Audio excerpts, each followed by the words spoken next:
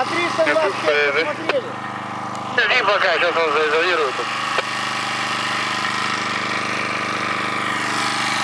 Что там было, Олег?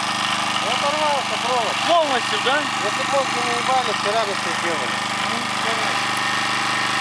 Просто его там зачистить надо было, изоленты замотать и все, отработали бы спокойно. Да у него не надо.